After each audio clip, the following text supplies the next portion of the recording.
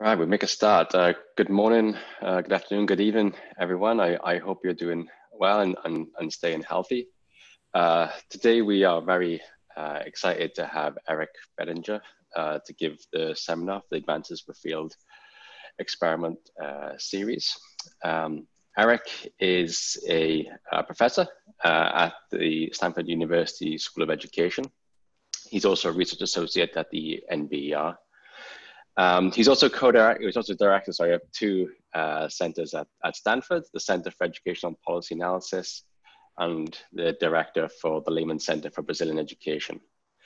Eric's research has been um, primarily in, in the economics of, of education. And um, throughout his work, he's been obviously interested in trying to identify and pin down a lot of the important parameters in the education production function. And uh, he's been using field experiments for, for over a decade now in, in thinking about how to how to change not just educational behavior, but also sort of behavior in public economics and think about benefits and so forth.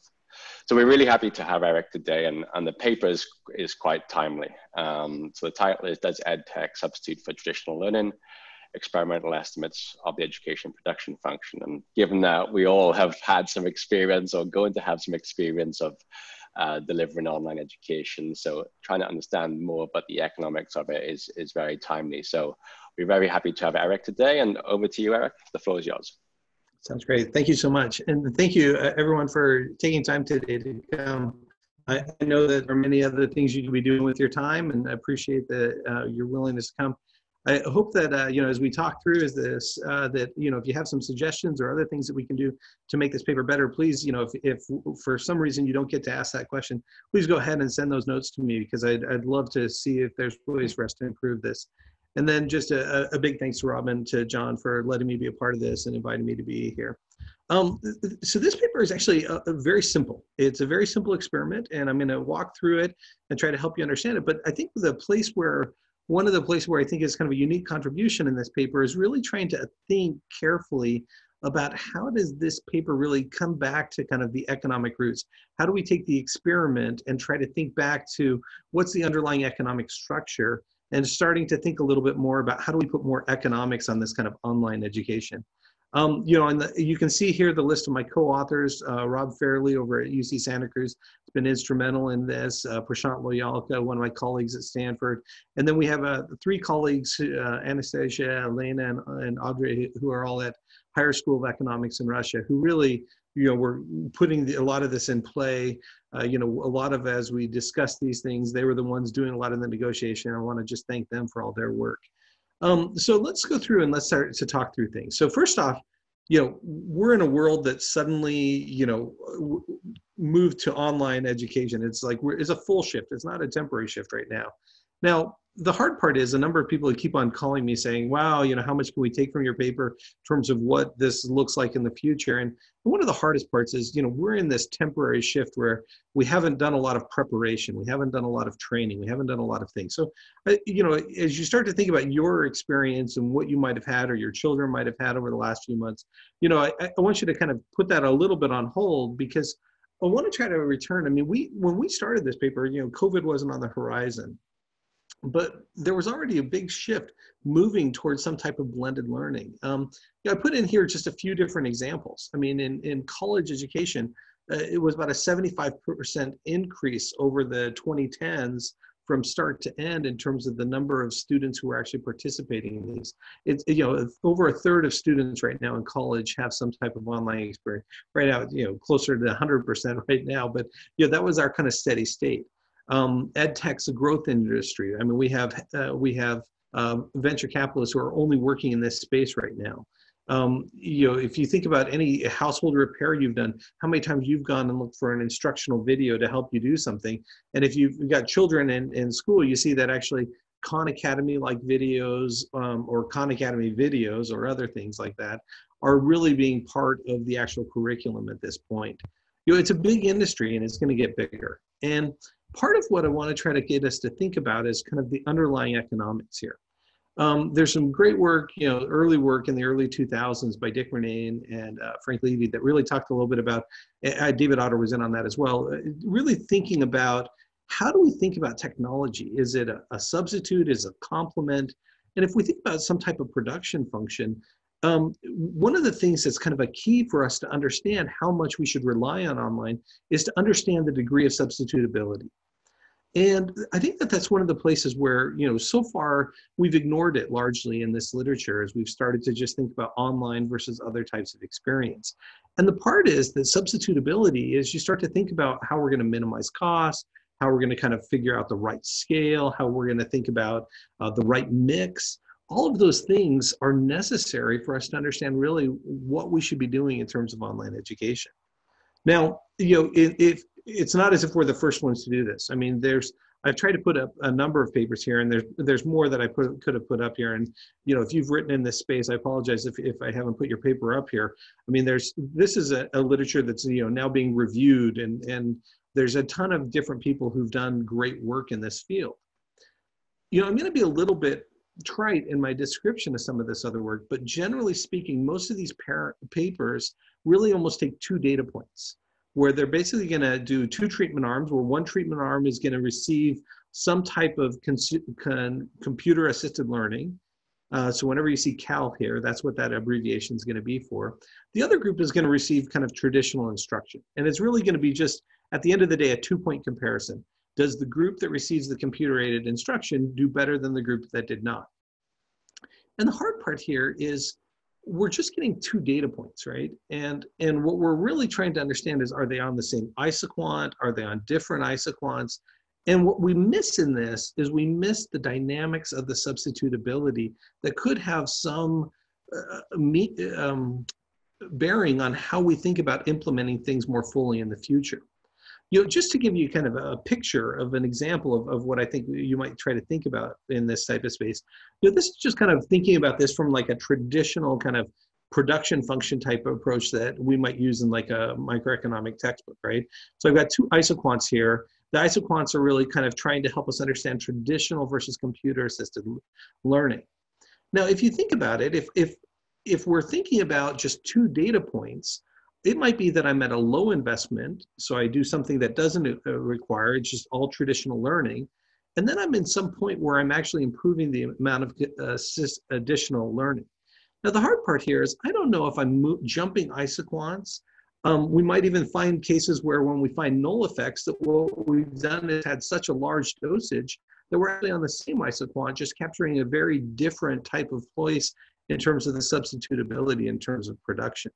And part of what we want to try to argue is that you know the kind of two point comparisons are useful. Uh, they're especially useful for policy and for making some decisions. But that in terms of understanding the underlying economics, we might be able to do better if we start to understand a little bit more about what the uh, you know what the shape of that isoquant looks like, what the concavity looks like in terms of production. And so that's going to be part of our goal in this one is to really think about this substitutability and start to think a little bit about how we might be able to um, you know, essentially go from two points to at least three, and, and that's what we're going to have is three points, and we're going to try to you know make some some better statements, basically trying to draw you know dot to dots with three lines rather than two points. So, okay, so let me go through and let me tell you a little bit about what we did. Um, what we've got three treatment arms here. The first one is kind of what we call basic uh, uh, computer assisted learning. It's going to be about 45 minutes per week of instruction. Um, the, we led it to the teachers. They needed to do at least 20 minutes, uh, but no more than 25 in any subject. So it's, it averages out at around 45 minutes. We chose 45 minutes because if you go through that kind of lit review of the prior studies, 45 minutes is about the median dosage in uh, the studies that are out there. So we wanted to be somewhat comparable to those. Uh, we also did a double doses. That's where we're going to get our extra kind of data point in here, where now we've added not just a mix, but we've actually increased it quite a bit. Um, and then, of course, a control group that actually is receiving no uh, computer-aided instruction.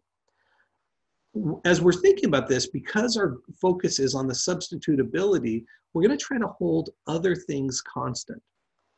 And in particular, we didn't want this to be a situation where they increased instructional time in math, for example, to accommodate this.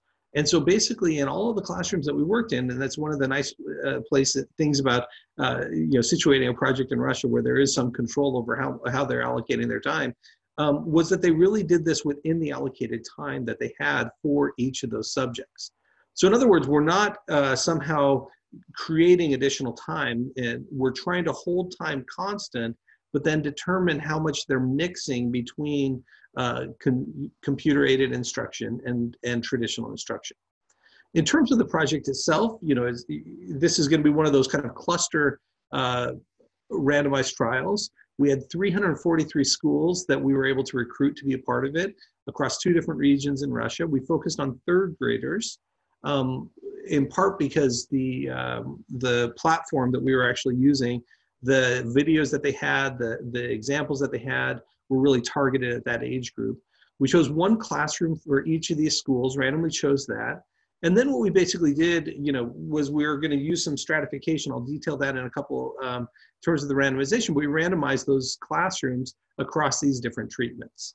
Um, there's about 6,200 students overall. At times, you'll see that the sample size drops below that. Um, you know, in the paper, we actually do some work thinking about attrition, and you can see that attrition is not a big problem for us, or at least asymmetric attrition is not a big problem for us. Um, you know, as part of that's also going to be a little bit in, we do some surveys at the end of the day, and absenteeism and moves and other things are going to actually drive some of that. Okay, so let me give you some more nuts and bolts on the experiment just to make sure that it's kind of clear exactly what we're trying to do and some of the other kind of things that we did to try to help us out. The first piece is in each of these schools, we went in and we were actually able to do some baseline testing and surveys. Uh, we, you know, we're in, edu- I'm in, an education school. We've got some good psychometricians who are able to help us to make sure that we uh, had tests with good properties. Uh, and this is where we're going to gather most of our baseline data on both teachers and students. Okay? Once we've done that and we have those test scores, then we did strata. And so within each of the regions, we basically grouped schools in groups of six according to what the average test score was. And then basically what we did, once we've actually done that, we uh, basically did the randomization within those strata.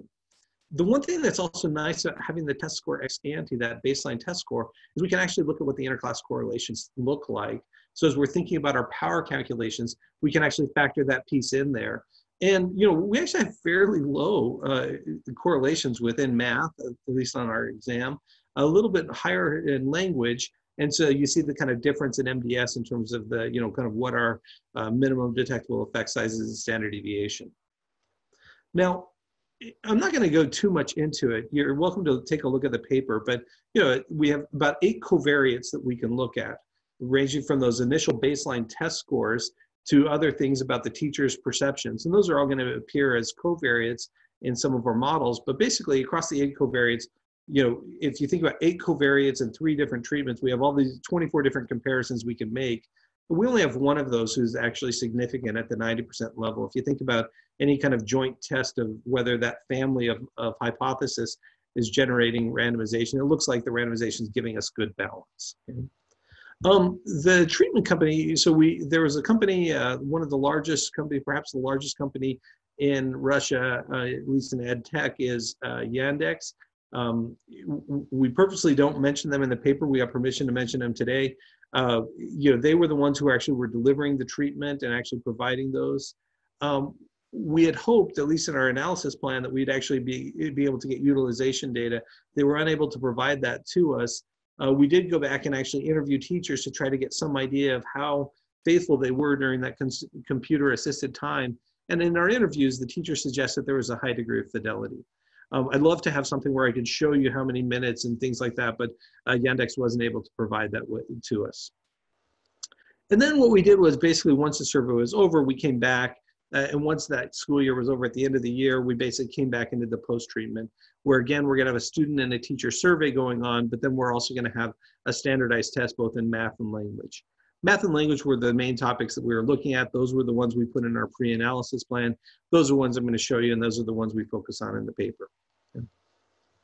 Okay, uh, just to give you some ideas of what things look like, these are less like YouTube type videos. Uh, these are more uh, questions that are meant to kind of guide students through it.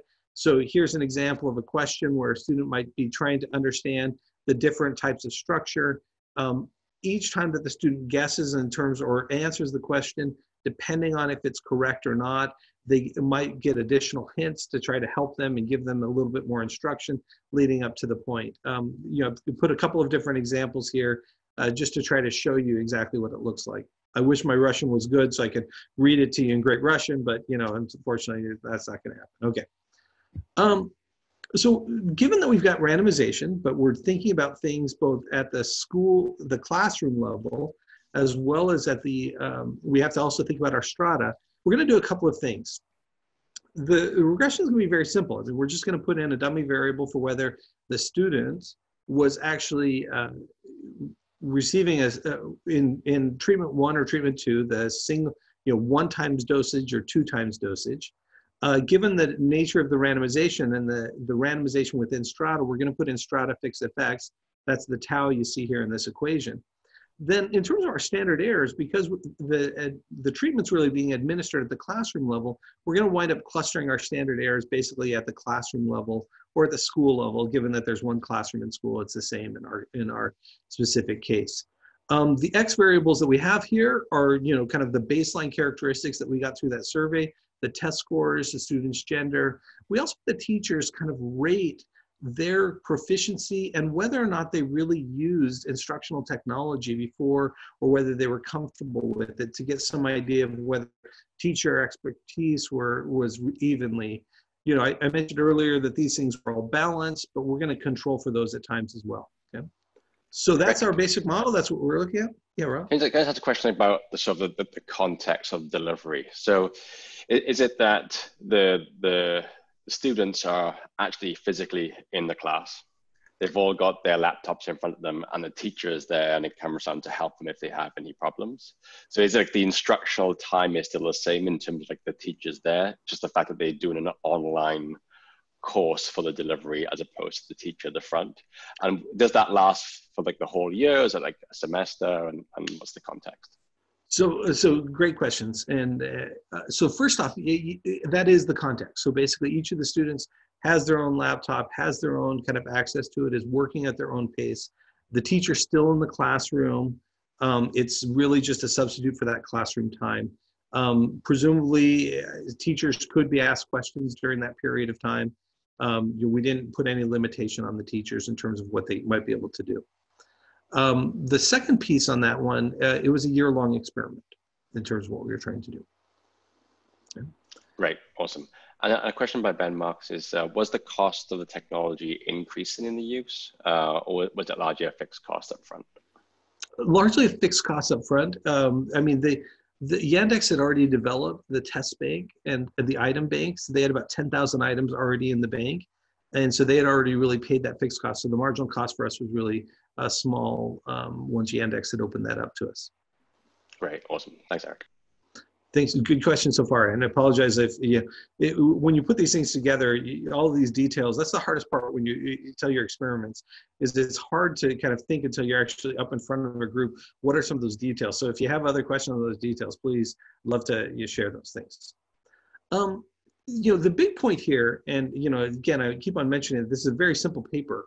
Um, was we were trying to get at this substitutability. And so one of the kind of key things about the substitutability is one of the worries you have is if somehow the nature of the experiment is crowding in new uh, types of things. For example, um, if if in that instructional period in the traditional study, for example, if students are getting more homework because the teachers are interacting more, then one of the things you're doing is you're you're not really comparing apples to apples. You're doing an apples to oranges comparison because one of them is generating additional work outside.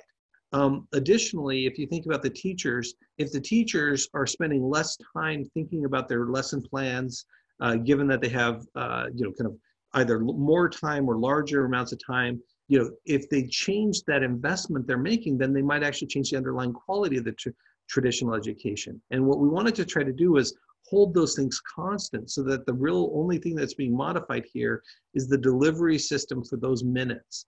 Um, so in terms of homework, one of the things we did at the end of the year was we included in our survey a report of how much time students were spending on homework. Um, and in, in our case, we don't find any statistically significant differences. Uh, 43 hours in our control group, 42 hours across the treatments are what they were reporting. These seem like really large numbers in terms of hours. I can't remember if this was, if it was over the last uh, month or if it was, you know, if, if this was a, a two week window that we asked them for this. Um, in terms of teacher preparation, we also asked them how much time they were spending. And basically, in terms of what the teachers report on the survey, we don't find differences in terms of what they're saying, in terms there's no crowding in of additional time or crowding out of other time that they would have spent uh, preparing. When we actually talked to the teachers and just asked them, you know, tell us about what was going on in the classroom, it really sounded like a substitutability. I mean, it was basically the, the teacher outlined the lesson and then said, okay, we're going to do some practice now let's go to the let's go to the computers. And and that was basically the substitution as opposed to doing the practice live or you know doing group work in some ways. So uh, sorry just a question about the the the, the control group uh, or the, or the non-cal group. So satarupta mitra, mitra is asking how do you deal with sort of non-compliance of using cal uh, in the non-cal group? Um, and is there a way uh, that you stop that or do you just let it happen and try to like understand the sort of the intensity of of of that use? Um, so this was the hard part for us in terms of not being able to get the utilization data from yandex. Now the hard part is um, in terms of the classroom experience itself um, from the qualitative interviews we have the students didn't have access to those computers and to the opportunity to actually you know do the substitutability in class now, of course, they could have been, um, you know, they were these were they weren't seeing peers because of the fact that we only had one classroom at each school. Somehow get access to something that they didn't have. We we can't control if those things were happening at home. And so, for example, you could easily imagine a situation where some kids are coming home and parents are encouraging them to use technology, whereas other kids are coming home and the parents are, the kids are kind of technologied out because they've had it throughout the day and they may not have as much desire to actually do something. We can't control for that. Um, and, and so that type of non-compliance, you know, we're not going to be able to control for. Now, in terms of how much time they spent once they're home doing educational things, that was kind of our definition of the homework. And so we're trying to use at least the homework part to say, you know, what type of, how much time in home investments. I can't tell you the mix on home investments. Um, the, I actually think that if we if we could go back in time and asked about that kind of utilization at home, it'd be actually a great thing for us to have done. Sorry, I'm taking notes here as we go, so that way as, as we think about things, because it might be if there's some other variables we can, uh, data source we might be able to drum up, we might be able to do something there to get at that. Good question. Okay. Uh, other things, Rob, and in terms of Q&A before I, that have popped up before I plunge into some results? Um, I don't think so. I think you feel free to go on. We can we can circle back. Sounds great. Okay, so I'm going to just kind of so you know we're running these regressions all at once. I've got some parts whited out here because I just want to walk through you know some coefficient you know one or two coefficients at a time. So in terms of our the coefficient on dosage, again these are standard deviation units.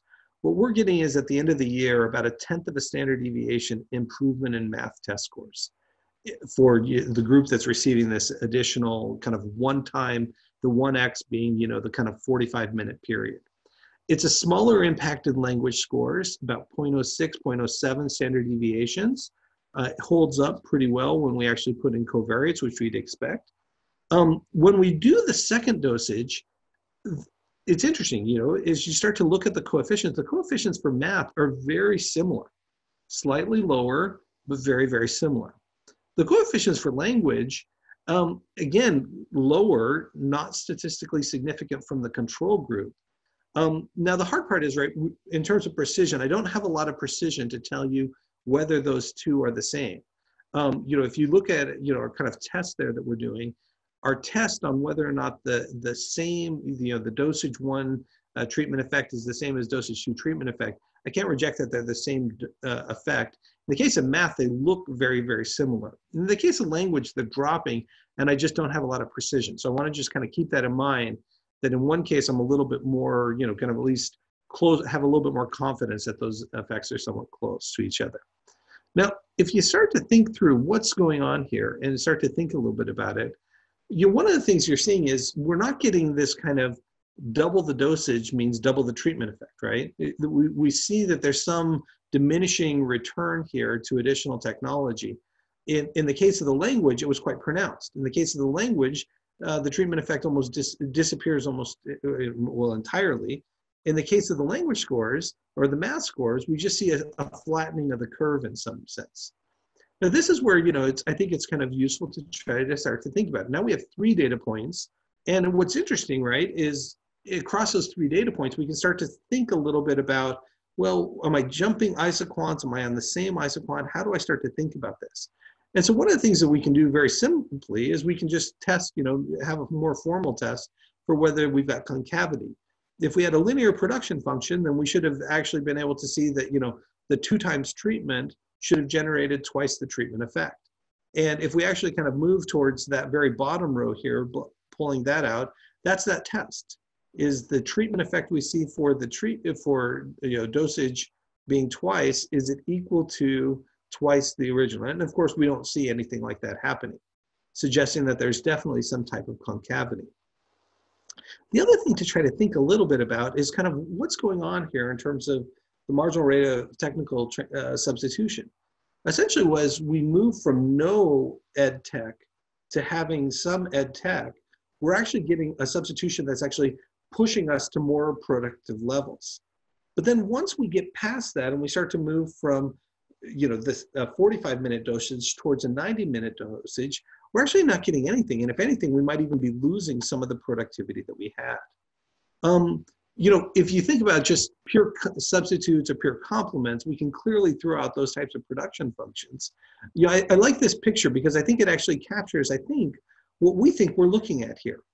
Like if you think about our control group, clearly as we move from our, at least on the math estimates, as we move from our control group towards that uh, one-time dosage, the 45 minute a week dosage, we seem to be jumping to higher isoquant, right? We see a shift out that seems to suggest greater productivity.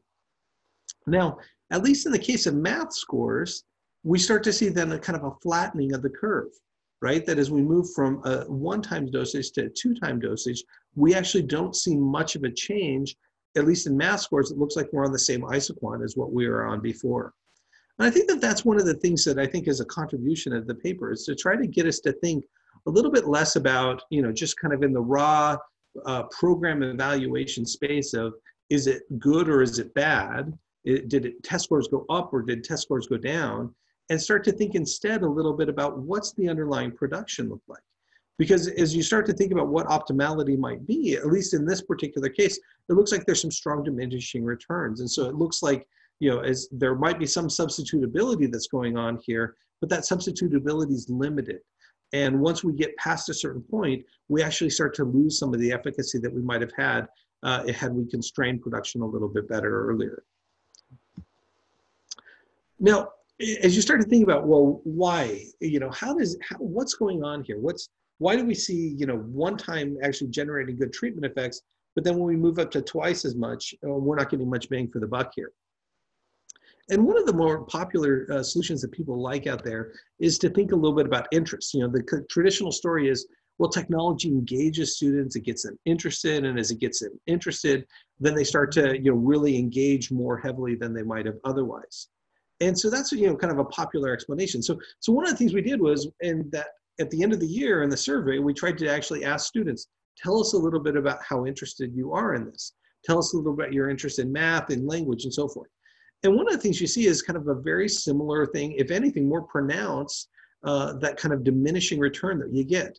If we see a 45 minute dosage, that dosage 1x is basically generating about a 7% or 7, you know, standard deviation, 0.07 standard deviation increase in the amount of interest students were demonstrating towards math or even stronger in language. But then when you move to that twice as much, suddenly they look a lot like the control group. They're not quite as interested.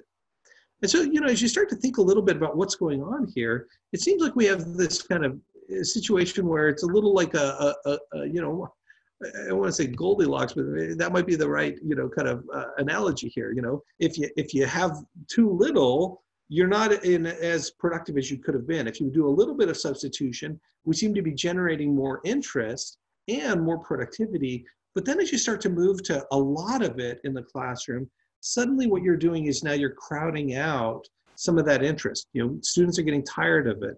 Students are, you know, or maybe it's they're fatigued from the actual thing. Maybe they're starting to get bored. I don't know what the right explanation is here, but the interest seems to wane as we go too far. And as a result, we also see performance, or, you know, not as a result, but in the same time, we see performance actually dropping relative to what it might have been otherwise. Okay. Right, right. It's possible to talk a little bit. Um, so the questions related to, to, exactly that point you just raised, which is, did the software and the learning on the CAL focus on mediation in terms of like going back several grade levels and to adjust the level for each individual student, or was it kind of like a general review um, over like the questions being covered, uh, being covered in that semester? And so, like, would you expect different these sort of these results for one as opposed to the other? Yeah. So, so my understanding, and I hope I say this right, um, you know, is that if this was simply drawing items from a test bank that was at the grade level. And so the one of the things that we're missing here, right, is that ability of the technology to somehow learn and actually grow and challenge students in meaningful ways that is customized.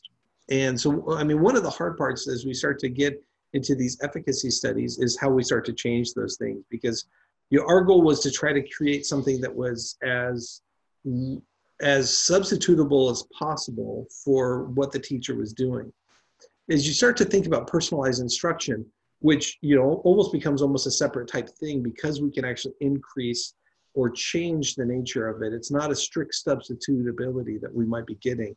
Um, and, and I think that that's a fair criticism of this, in that as we start to think about what the future of this looks like, the future is probably going to go towards less of this kind of mass thing that we've done. Um, and the future will likely go towards more personalized instruction. You know, at the point of time that we're in right now, I still think we're very much in a point of time where, especially when we're doing this at a classroom level, we're getting kind of more gross substitution rather than personalized substitution. Um, but yeah, it continued to draw items from that same uh, item bank that the students had been accessing uh, throughout the year. Got it. Thank you. That's a good question. And, and I think it's also one of the, you know, just a, one broader point on the same question. It's one of the, the difficulties of actually making uh, great suppositions about any of these EdTech papers over time is that as the technology changes, we always get a snapshot and we're getting a, a, great comparison about what technology looked like in our case you know around 2017 2018 you know and and we're getting a great snapshot of what things look like and what success looked like in that realm.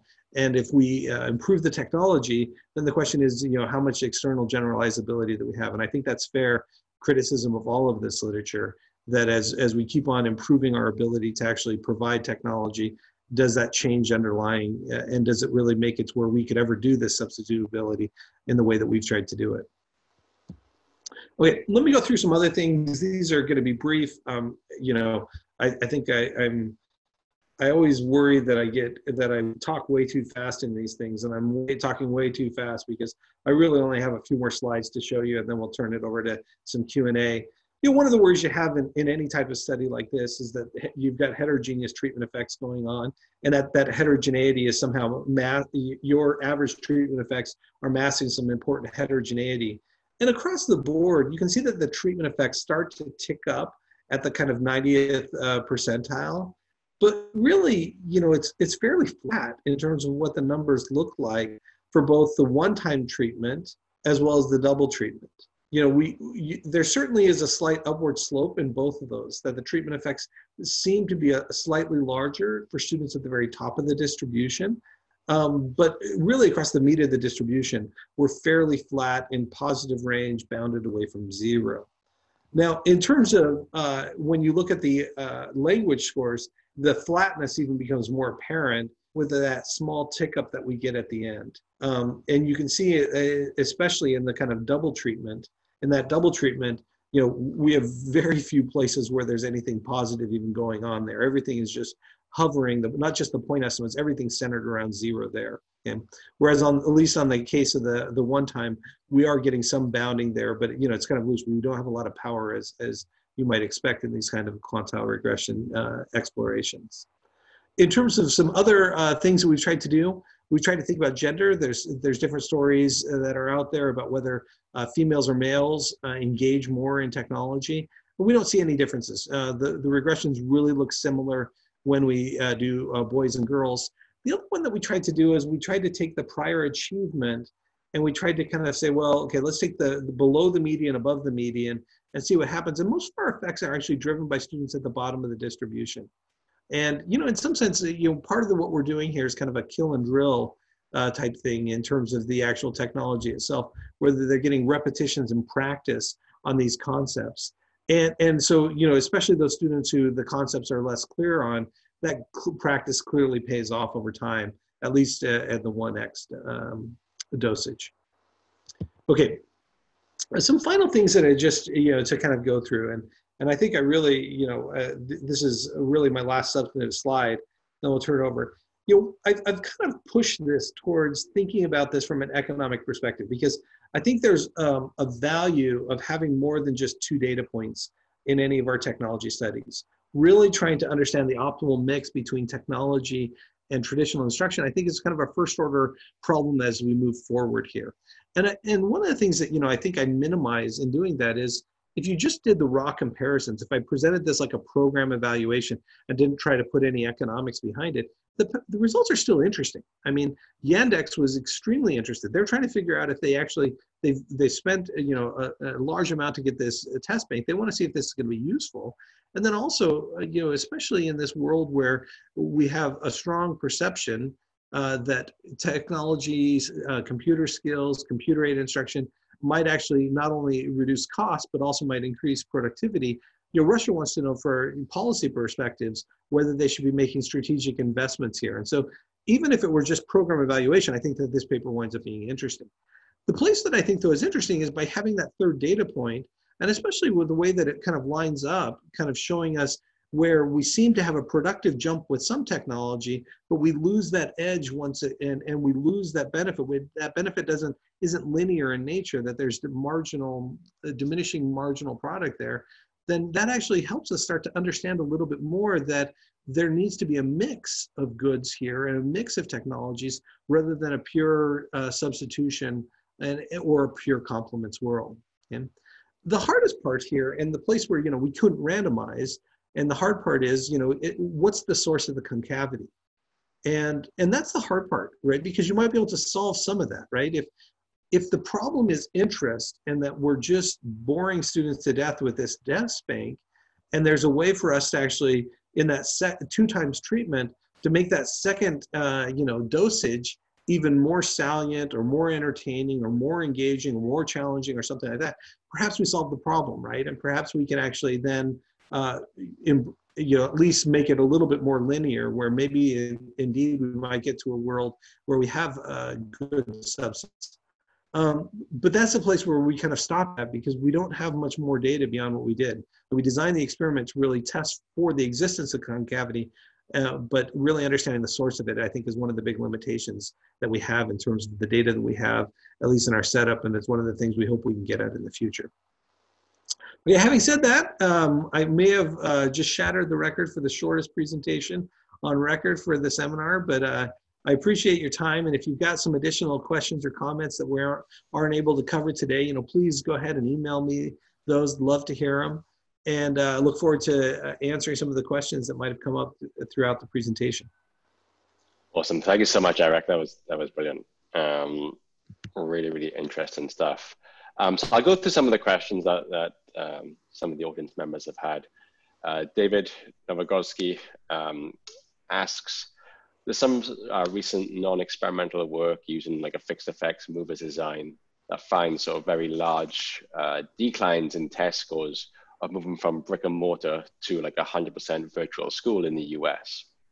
Um, but extrapolating from the two point concavity of this RCT, what would counterfactual test score decline look like with 100% cal? And then would your take be that the movers results can be rationalized with this back of the envelope calculation? Or, would, or can this give you a sense of how much in that non-experimental work uh, is driven by that selection effect? So given that you have many schools which may vary in their sort of cal intensity, could you redo such a movers design and try to make such a point? So this is, a, I think this is a good question for the field in general, and I don't know that our experiment lends itself well to this, because I, one of the problems that we have is we don't have the variation in that cal intensity that I think you want to or you need to have in order to fully resolve this question. Um, in part because you know part of the reason you know it was ideal in Russia is because there's such a kind of top-down prescription in terms of what the the time allocated during the day is so we don't get that variation that you might expect. Now the hard part is is how do how do you actually start to think about a, a full substitution right? Is is the curve really flat once we go from one time to two time?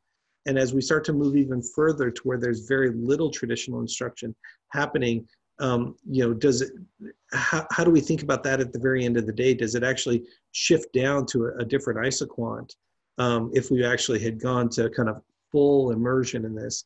Uh, and that part I don't know. I, I, that that would kind of be an interesting experiment if you could actually have gone the other way and had our control group be fully uh, instructional to see if you actually are getting a jump from you know going from fully instructional to a little bit less you know double what the 90 minute to the 45 minute so, you know, in some sense, right, it's almost the reverse experiment. We haven't done that, but I think it's, and it'd be hard to interpolate what would actually happen there.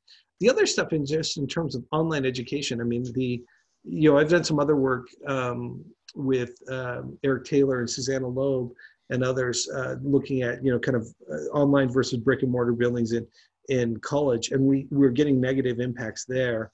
The hardest part that you have to also try to think about, and this is also a place where I think that economists um, are thinking about this in a more nuanced way, is the relative cost savings that you might get, and whether that cost savings is actually generating and being used in any productive way as well.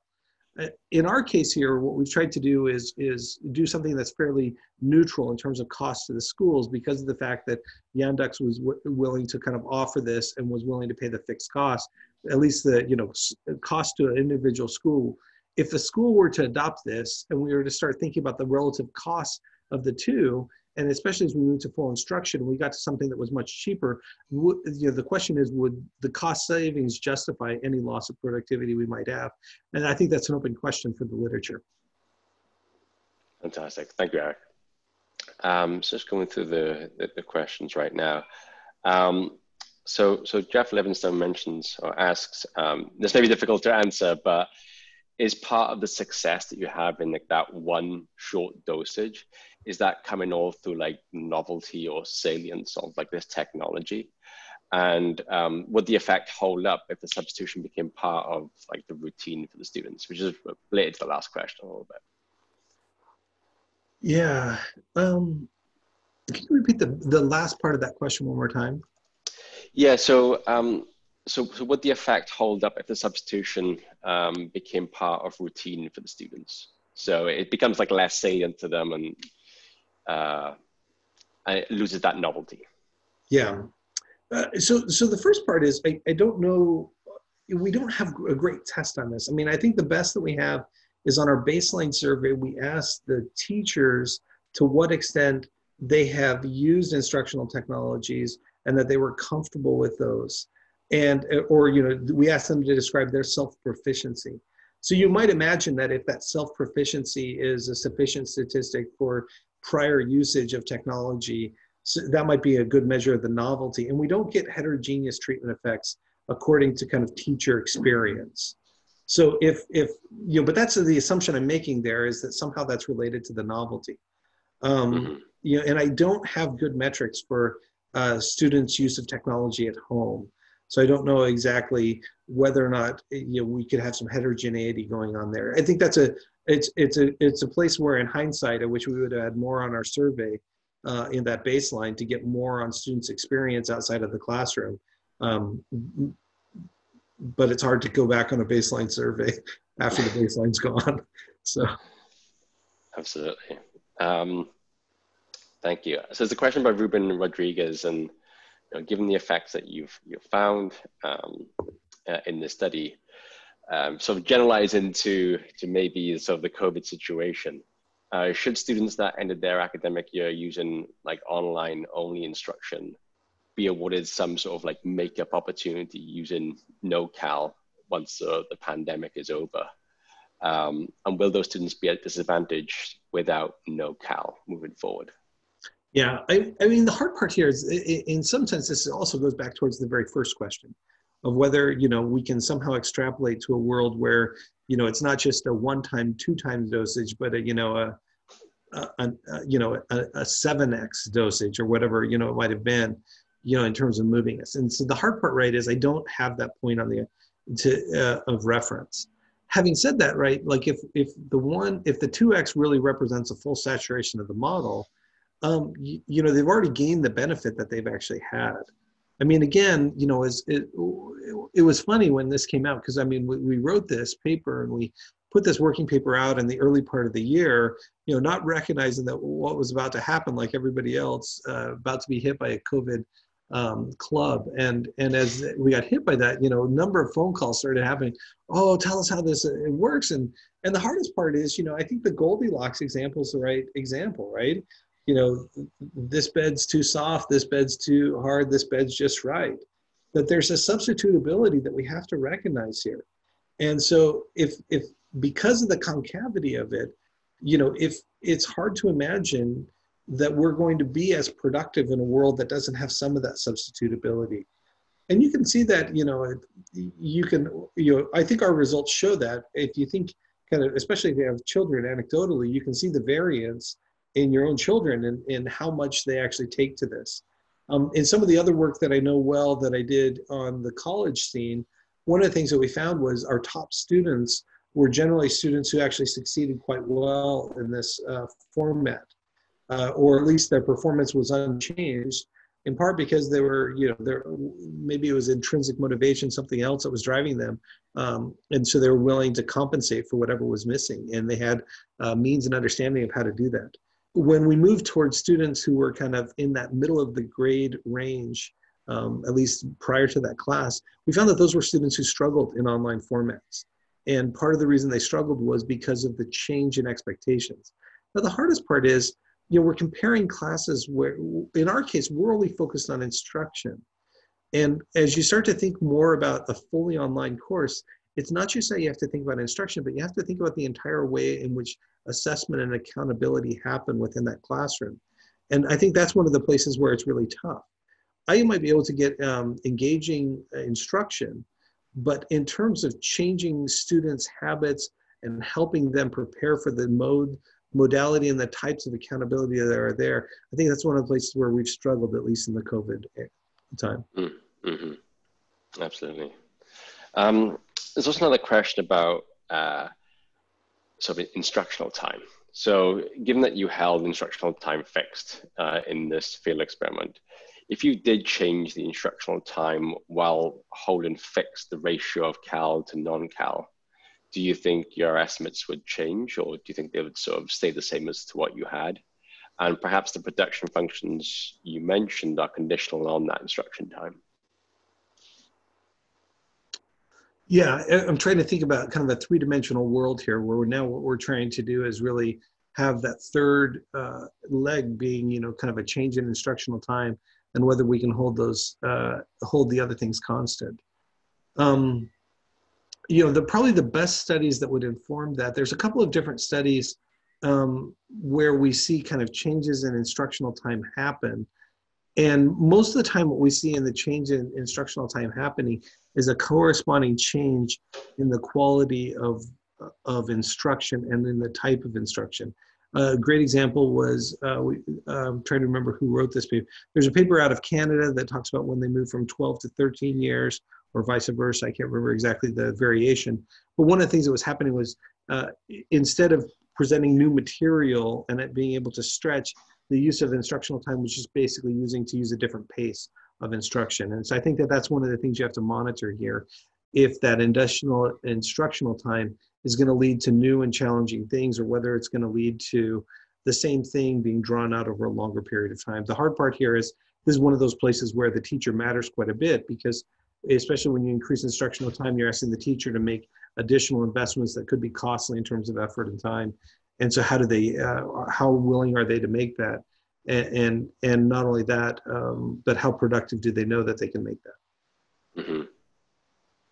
So I don't know if I have you. a great answer. I'm ducking that question a little bit because that one I, I think is a little. I, I wish I could do that experiment. Yeah. Um, did, is is that kind of like where you see uh, some of this work going? Is trying to have those um, two things changing at the same time and and trying to understand what the impact of one holding the other fixed. I actually think that uh, the first place, if I were to think about, you know, if, if I were an aspiring graduate student thinking about where is going to go, I mean, one of the hardest parts in this one is that the technology changes fast. What it means to be an online course when, or you know, a cons- computer-assisted course when we did this, we love it to be as generalizable as possible, right? Because you always want your research to be timeless in its nature.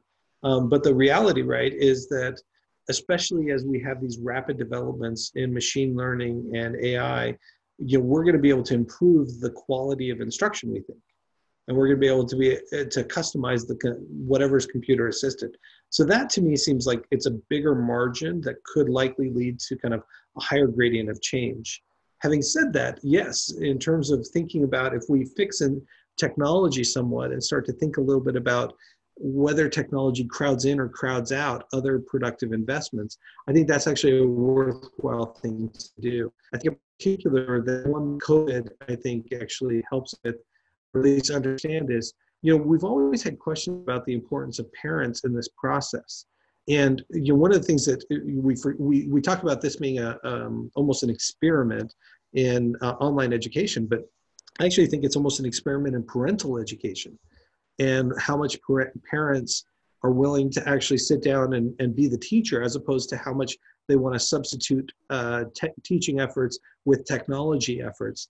And so i think that you know as you start to think about those margins i think that teacher the, the parents as teachers and the parent contribution and even if we get back to a normal world the ways in which parents substitute or complement education with technology is is i think kind of a, a probably one of the next dimensions that should be explored pretty intensely mm-hmm.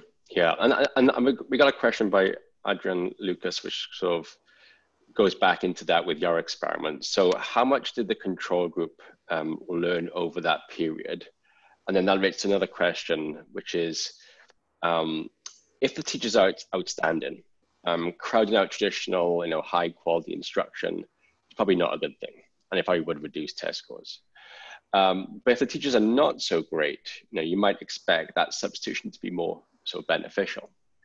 And so, you know, do you think that that could be measured in your experiment? And then if, so, if, if those effects are borne out in reality, how would that affect like the market for teachers and you know the market for being a a, a mom or a dad that actually does the teaching at home?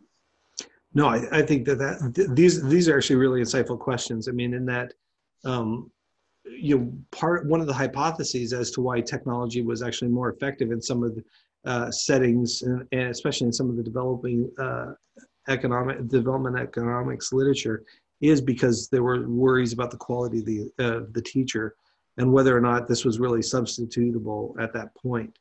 In our case, you know, this is again one that I don't have great data on because I don't have you know, like value added coefficients or something for those teachers ex ante. I mean, the first time that we have a test score for them is when we present, eh, but these are all new students to them. And so it's kind of a baseline number. It's hard to think about them. You know, again, I, I'm, I may be asking it, I'm asking it to do way too much if I'm trying to use it for this question. But the only questions we really have are the teacher's proficiency and their self-proclaimed uh, proficiency with technology and other things. If we think that's a proxy for their engagement in new teaching techniques and something like that. But again, you know, now I'm using that as a proxy for, you know, uh, facility of, of, of, technology as well as teacher quality. And so it's a little bit of a push. I actually think that that's a, a would have been a great variable if we could have actually got some value added ex ante and try to see if we have some heterogeneity across those value added. So we're getting that there, you know, substitution for effective versus ineffective teachers. That would have been a fantastic addition to this paper.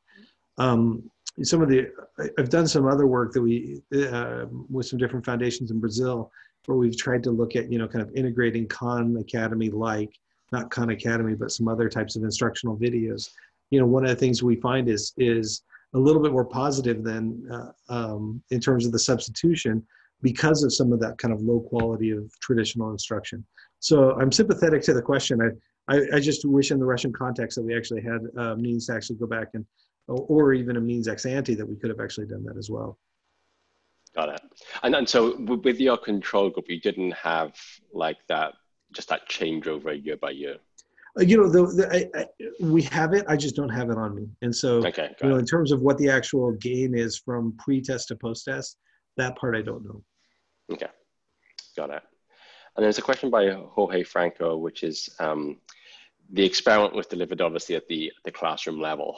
This would obviously be very difficult to do at the individual level. Um, yeah. So, that, so the classroom or, or, the school level would be, you know, how you'd randomize. So, given that you got the presence of the teachers and peers together, this is kind of related to the question about novelty. Um, is is this, is this more like a social experience of education? Um, like, is it less or more so than if the teacher is there delivering it um, without Cal? And to what extent do you think Cal would work, um, you know, where you have less of that social in the classroom with the technology, where we're all in our homes or in our apartments um, doing the work isolated? I, I don't even know how to answer that question. that right? It, it, it's a good, it's a great question, but I don't even know how to answer it in the context of this experiment. I mean, in part because it, you know, like let's suppose that you know we we have some latent variable, which is the the you know sociality of a of a school of a classroom or of a teacher. You know, it, in some sense, at least on the baseline one, the randomization should have given us balance in that latent variable.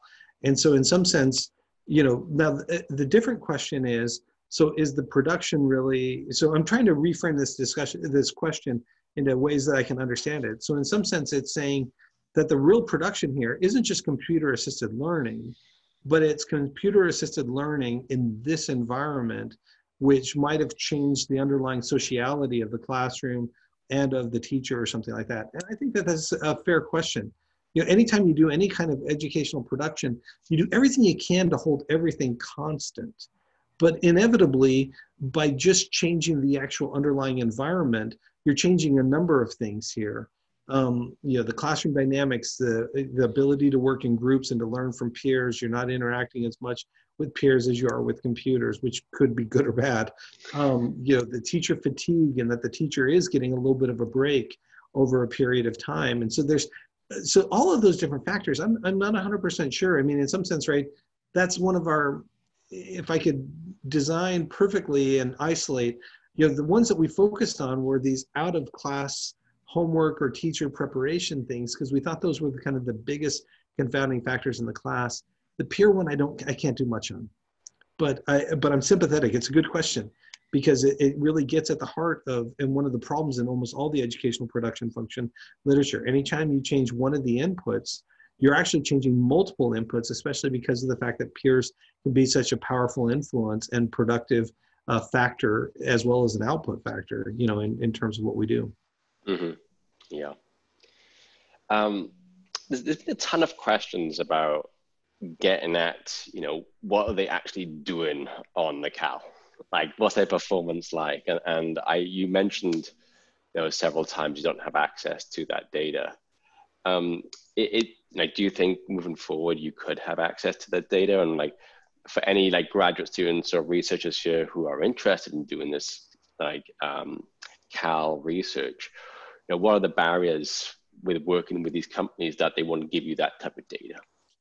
So, so I, I don't know altogether with the with Yandex kind of what happened there. If it was that in the process of, of gathering the data that they lost their identifiers and lost the ability to help us actually link back um, particular accounts to students.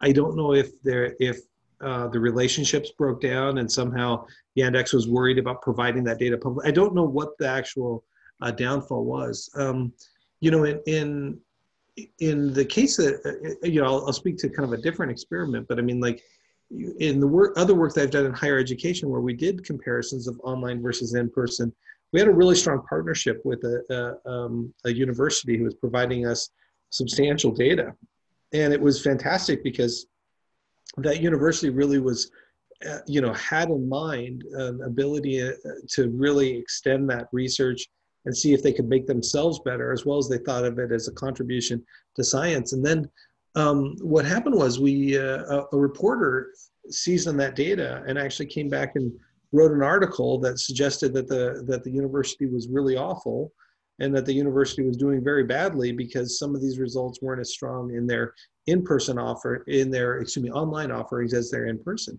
And at that point the university you know even though we tried to go back we wrote letters we tried to get an erratum uh, because the reporter clearly just you know made some suppositions from the article um, the damage was done. And you know the the downside risk for that uh, university to have bad headlines that were not reflective of the truth uh, was just too great for them and so one of the hardest parts in this one, and part of the reason in the paper, I'm, I'm grateful that Yandex is now letting us use their name, but when we wrote the paper, we went through great pains to make sure, you know, to not use their name, um, was there's a there's a huge downside risk for some of these, especially if they're a for-profit or ed tech company that's trying to to get their feet. And what's also hard about this is by the time the papers come out, we're looking at version 1.0 and they've already moved on to version 2.0. And so what's hard is, you know, this is one of the hard parts about gaining partnerships in the field. The downside for your partners is a lot stronger in this kind of ed tech region than it is in other places.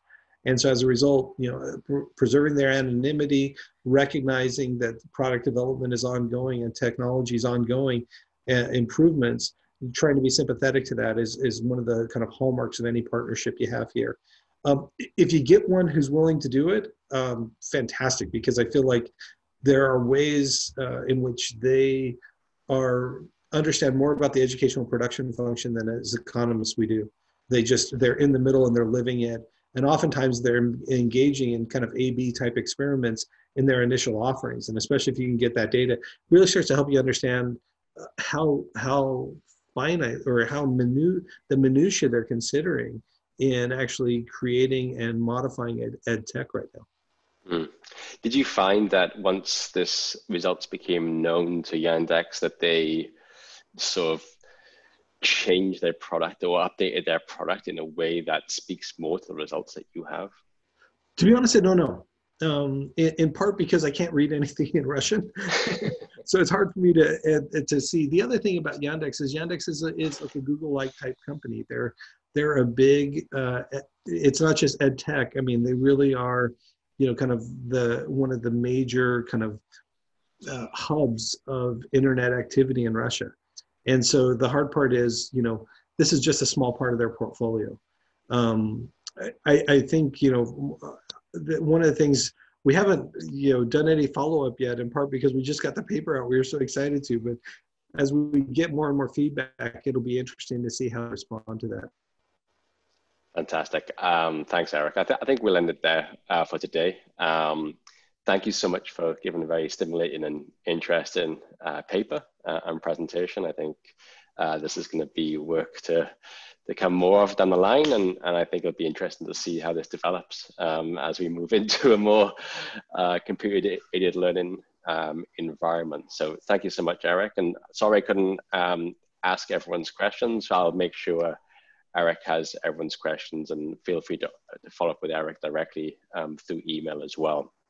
So uh, next week we have uh, Susan Athey and she'll be talking about uh, adaptive field experiment, experimental design. So uh, we'll see you all same time next week. And thank you again, Eric, for joining. Thank you, everybody. Thank you for your comments and questions and appreciate the opportunity. Take care. Thanks, Eric. Bye-bye.